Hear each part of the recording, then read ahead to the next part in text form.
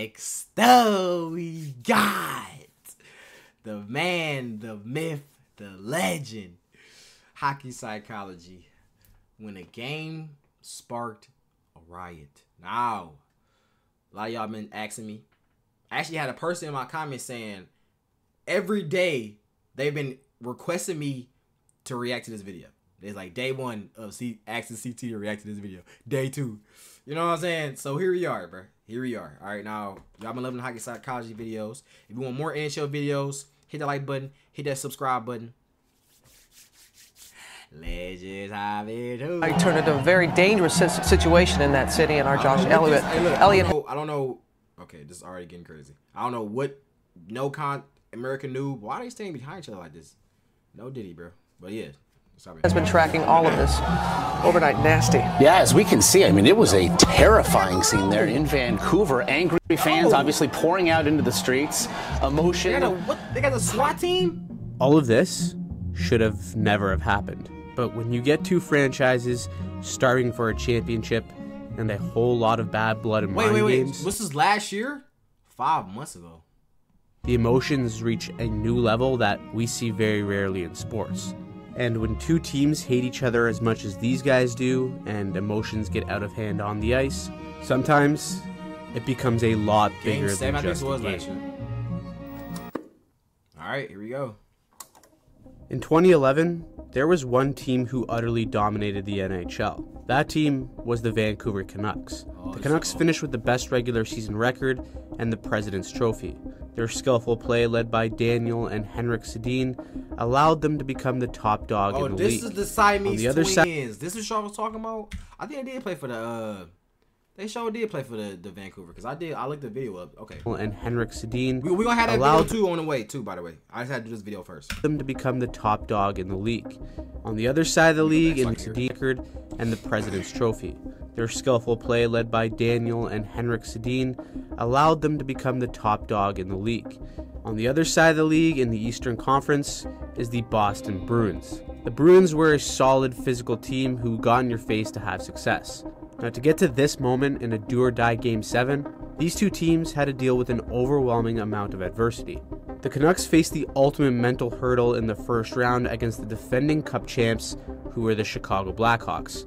The Blackhawks knocked out the Canucks the previous season, so there was already a lot of bad blood between these two Dang, teams. who the the fuck Canucks took the first three games and then proceeded to lose the next three, so the series went seven. With all the pressure in the world on the President Trophy Canucks, an epic collapse like this in the first round would likely be catastrophic for the organization and ultimately would lead to a complete overhaul. It would come all the way down to a Game 7 overtime to push this Canucks team over the hurdle. After that, that they nice. got by Nashville in 6 and San Jose in 5 to advance to the Stanley Cup Finals. Now, what's important to note is that in that San Jose series, Vancouver's man advantage went 9 for 24 in the entire series. That's a sizzling 37.5%. San Jose wanted to get physical with the Canucks, but their mentality, according to defenseman Kevin Bieksa, which was basically let the Sharks push them around if they wanted to. The Canucks were confident that they had one of the best power plays in the world that year, and if you wanted to take stupid penalties,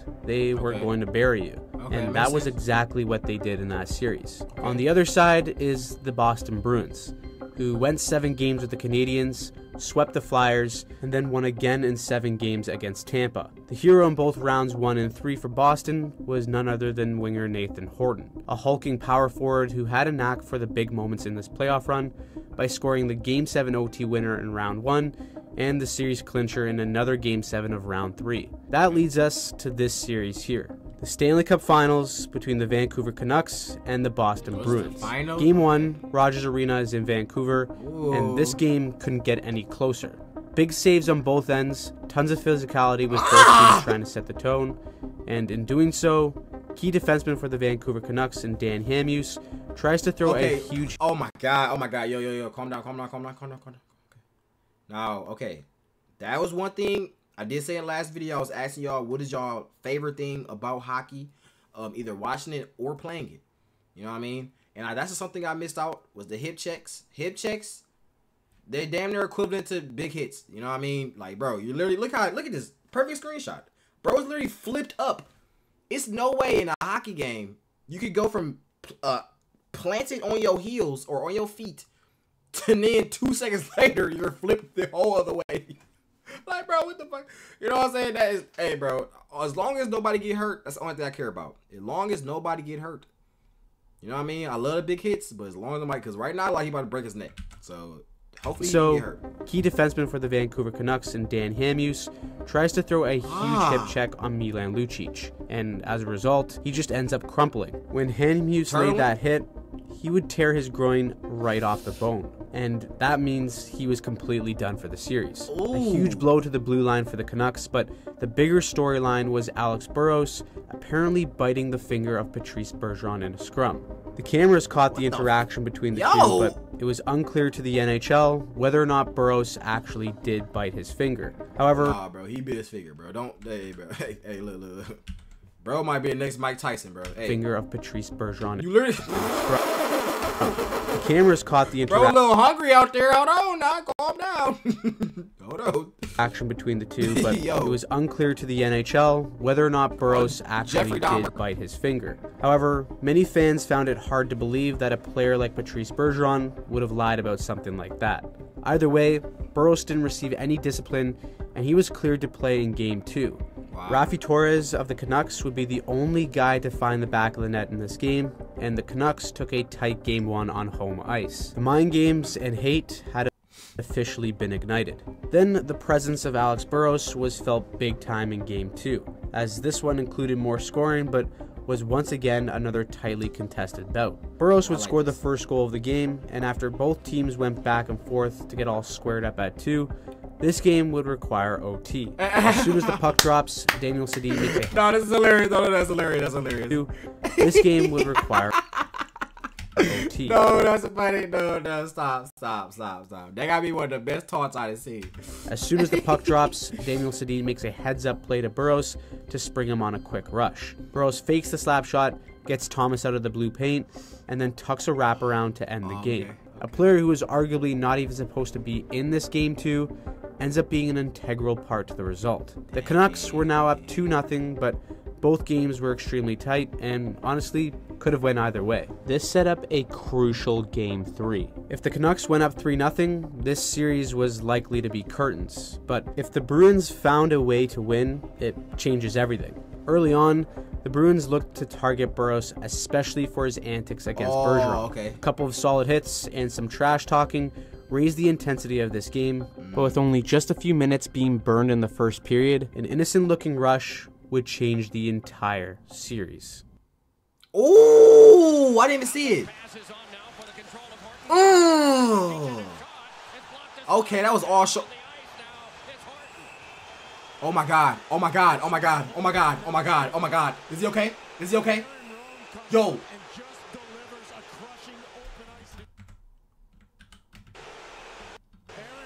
Oh, and it was like a blind side.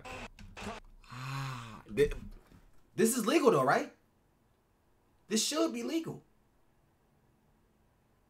It don't. I don't. I don't know how. Cause I told you I'm a new NHL fan, so I don't know what's technically like how you have to hit somebody. I don't know how you have to do it, but this don't. If I'm just going off American football, you lean with your shoulder. That's you know what I'm saying. That's legal, bro. That's a, you. You're not like you trying to lead with your head. You trying to spear him. So I would think this is legal. Now I don't know if you know what I'm saying. People got mad because he got knocked out, which that really ain't his fault if he got knocked out. I mean, shit, it was a good hit. Or maybe you can't blindside. Is that what you can't do? Maybe you can't blindside. I don't know. Let me know in the comments. Mm.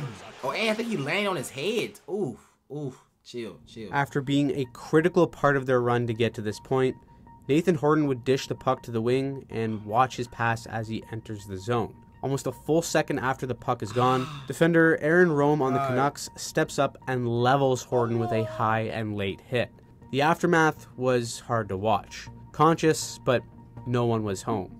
Horton had to be stretchered off the ice, and this hit completely changed the dynamic of the series.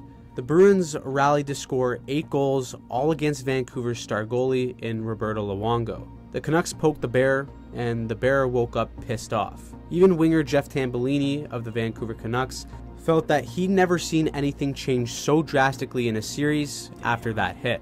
Aaron Rome was suspended for the remainder of the series, and the Canucks were starting to do too much to try and make up for missing players. The Bruins steamrolled the Canucks 4 0 in Game 4, and the series shifted back to Vancouver, where once again, it was another extremely tight contest. Ooh, Maxime ooh. Lapierre scored the only goal at 4:35 of the third when the puck bounced off the wall and caught Tim Thomas by surprise. After the Canucks won 1-0 and Luongo was named the first star of the game, he said this about Tim Thomas when asked about the lone goal in the game. Comes from a weird angle, goes off Tim's body. Just how hard that is for a Uh, it's not hard if you're playing in the paint, so it's an easy save for me. But if you're wandering out and aggressive like he does, I mean, that's going to happen. So uh, he might make some saves that I won't, but uh, in cases like that, I mean, uh, uh, we want to take advantage of bounces like that and make sure that we're in good position to bury those. just pouring more gasoline onto the fire between these two teams, but it seemed like the Canucks were getting sucked into the noise. As Luongo admitted afterwards, he wished that he wasn't as worried about what was going on on the outside. With the Canucks now just being one win away from the Stanley Cup, everything started to fall apart. Players and members of the organization were starting to get ahead of themselves and proceeded to lose focus. But more importantly than that, the Bruins started to physically Oh yeah, yeah. This is like one of the best beef ge- beef series I've ever seen. Let me know some more beef series like this. I want to see more of this. I want to see more of this. to lose focus. But more importantly Yo, than that, this- the Bruins gonna try to look away. and proceeded to lose gonna focus. try to look away But like more importantly than that, the Bruins started to physically overwhelm the Canucks. Defenseman Kevin Bieksa said that it seemed like the Bruins defensemen had a mandate to make life hell on Vancouver's forwards. Whether it was a slash, cross check, constant scrums, Bieksa admitted that they just didn't have the team to match up with that kind of physicality. The Bruins won Game 6 easily 5 2, and in the final minute of the game, Marchand proceeded to punch Sedin in the face multiple times with let him hit no? Retaliation. That was a bad look for a team that was already called soft and whose toughness was in question in this series. Yeah, bro, you just Even though the Canucks said they wanted to take punches to draw power plays, the power plays just didn't come, and the result was almost symbolic So is this why everybody was telling me? Because I remember I had the Bruin shirt. You know what I'm saying? And a lot of people was telling me like, don't root for the Bruins because the Bruins is like a hard nosed team, or they like just love, you know what I'm saying, fighting and hitting and stuff like that. Is this why?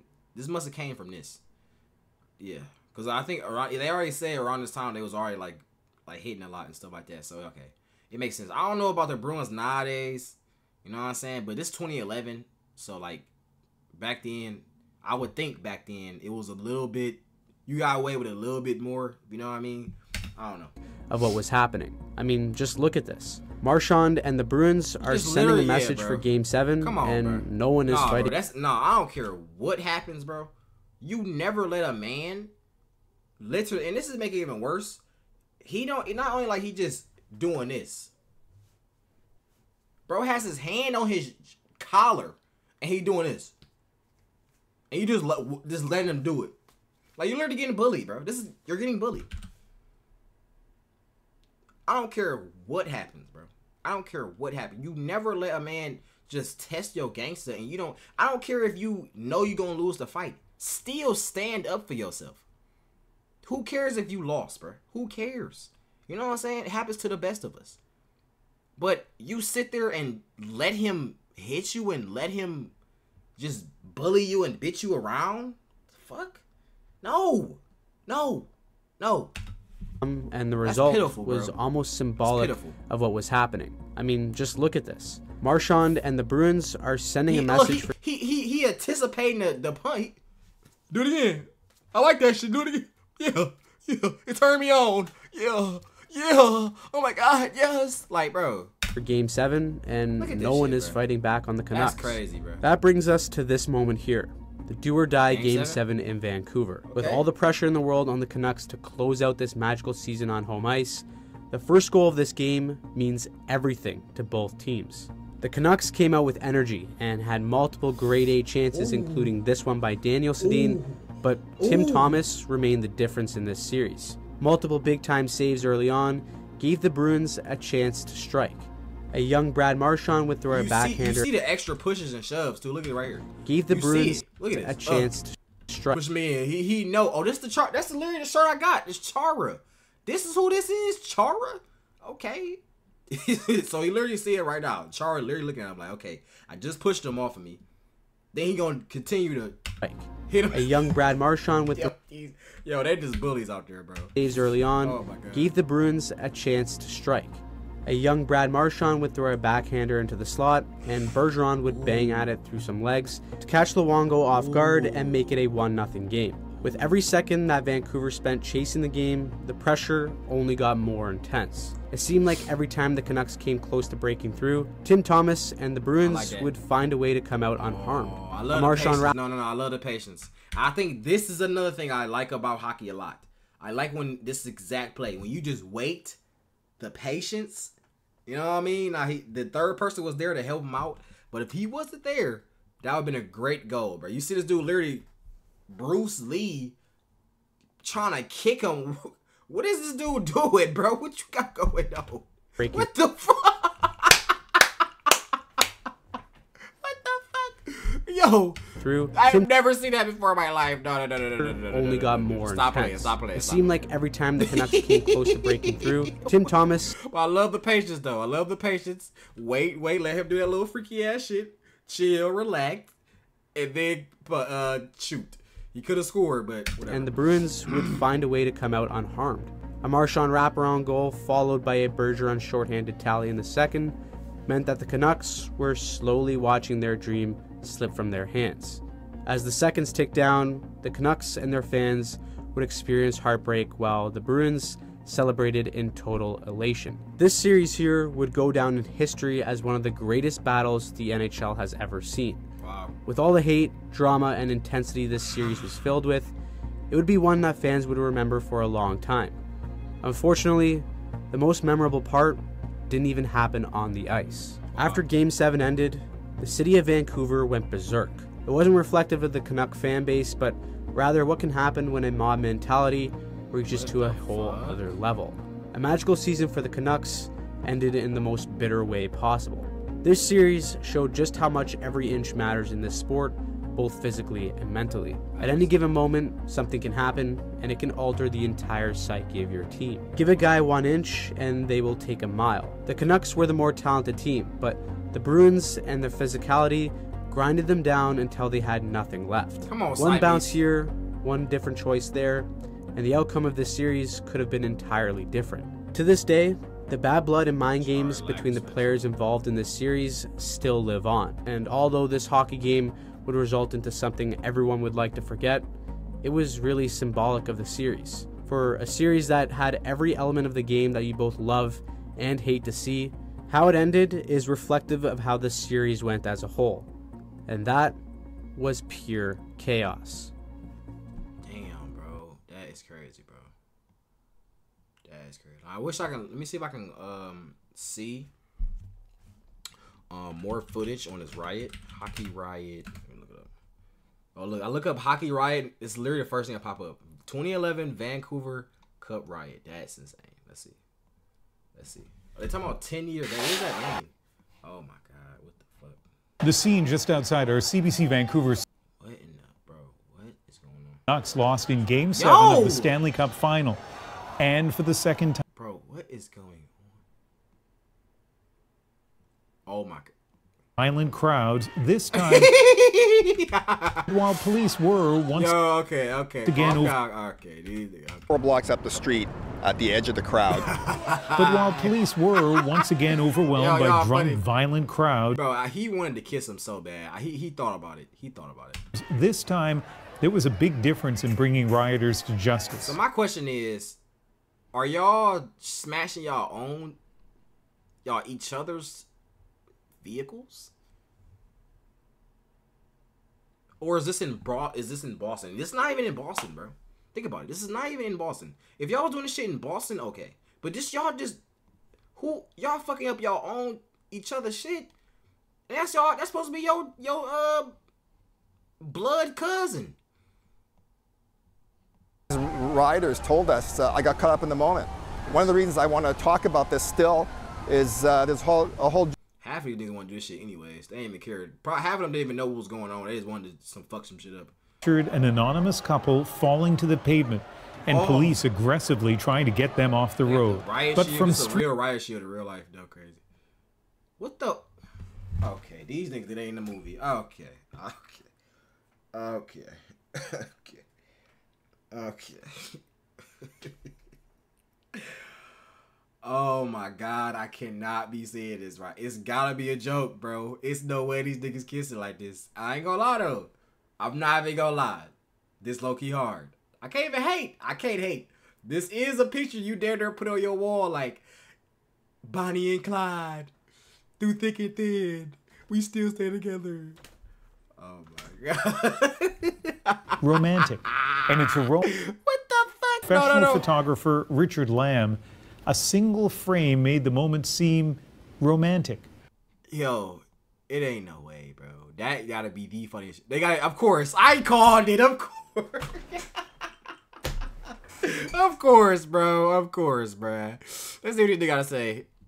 Yeah, I guess we didn't really know much about going viral. It's not something that had ever crossed our minds, or even a phrase that, you know, now it's so commonplace, but I don't think either of us really had even heard that phrase at that point. Or the ugly side of going viral. Fall Wow. Wow. Okay. Well, I mean, shit. If I was gonna have a picture like that, bro, I would want it, bro. You know what I'm saying? I would want it. That low key is a hard picture though. But the only thing about it though, is like you can't, you really can't even tell that's them. That's low key the downside of it, cause it's like, bro, if it's like say you have it in your house, somebody asks you like, why do you have this picture right here? Oh, it's me and my girlfriend. Bro, stop lying, bro. Bro, no, for real, that's me and my girlfriend. You mean to tell me it's police outside. It look like it's fire, whole other shit, and y'all in the middle of the street kissing. Yes, bro, for real, bro. Why you gotta lie to me like this? I thought we was friends, bro. For real, like we was. Just save it, bro. Just save it. You don't like why you gotta lie? What are you lying about? Cause you really can't even look at their face, bro. Look at you can't even see their face. Wait, is this them too? Oh, is this after it happened? Oh. Okay. Okay. Not.